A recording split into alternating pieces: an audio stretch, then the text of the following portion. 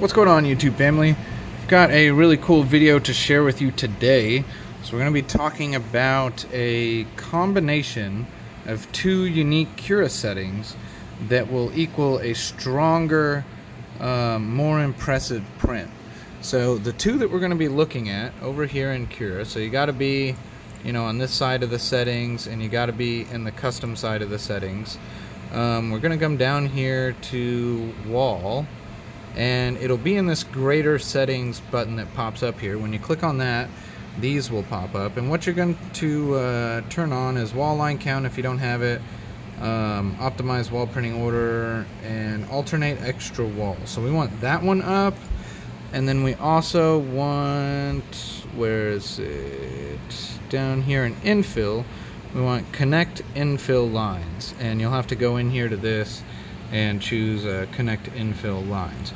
Now, so what this is going to do, first off, the alternate extra wall, we can just read the description. Prints an extra wall at every other layer. This way, infill gets caught in between these extra walls, resulting in stronger prints. So that's pretty cool, and overall, you're going to get a stronger print now. Um, and then this connect infill lines Connect the ends where the infill pattern meets the inner wall using a line which follows the shape of the inner wall. Enabling this setting can make infill adhere to the walls better and reduce the effects of infill on the quality of vertical surfaces. Disabling this reduces the amount of material used. So what it's talking about is right here. So the infill is hitting the wall, going out, coming back, hitting the wall, and then following it for a little bit, and then going back in. So if we turn this off and slice, you can see how long it takes to slice. And this is a bird feeder if you're wondering. I was going to print a bird feeder for, for my back area. Um,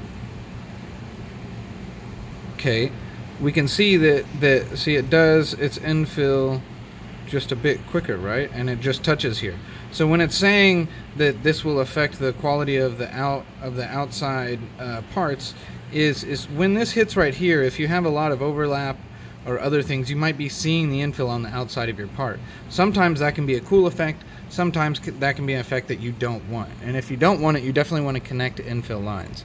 Now, when you connect infill lines with the alternate extra wall, it's going to create a really unique stitching effect. So I didn't really notice this before, and I've used I've been using both of these settings for about a year now, but this was the first time that my eye caught this effect. So look, uh, right here. This is what I'm talking about. So normally, if we don't have connect infill, so, so what this is doing, just to describe it properly, is the infill right now is two or the wall is two right now, right? See the wall one layer lower was three, and then the next layer it's going to be three. So it's so it's doing a wall of two walls three walls two walls three walls. So the infill goes in between the two walls and it's getting stuck in between that third wall every other layer.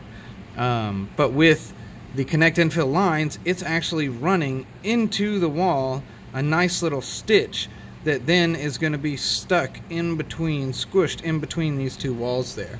Um, so that creates this really nice stitching effect where you get all this infill going in and out of the three walls.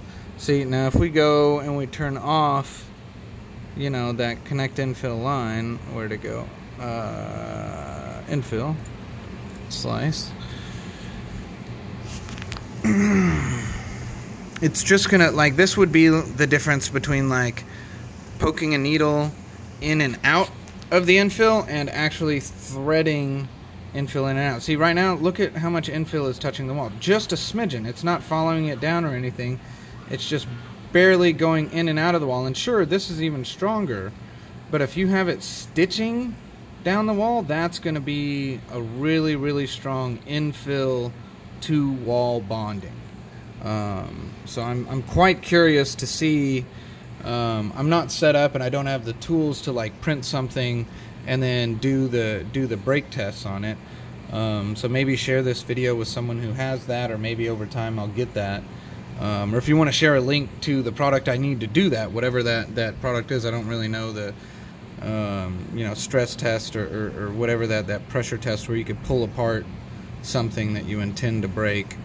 Um, but anyways, I just wanted to show this is a really neat stitching effect, and this should work with any infill. I have it on gyroid right now, but we could look at like, you know, cubic, and I'll wrap this up shortly. I know I'm starting to ramble here, and I've already showed what I want to do. I just want to show that it's that it's pretty neat, and it doesn't matter which infill you're using, it's going to create a really unique, you know, stitching effect in and out of that third wall.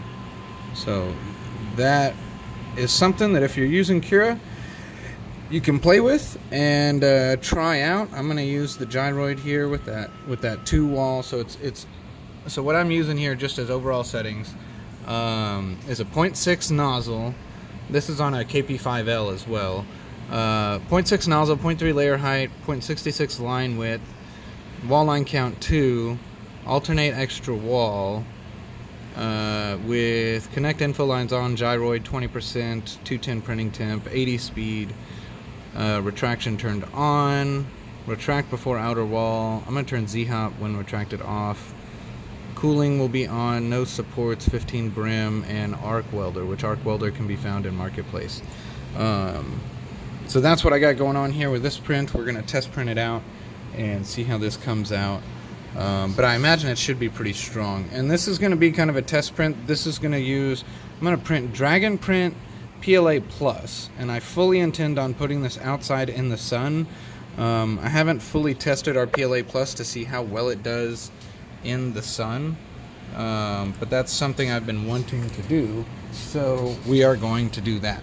Um, awesome, guys. Well, thanks for being with me this morning. Like, share, subscribe. Hopefully, you learned something, and uh, have a good day.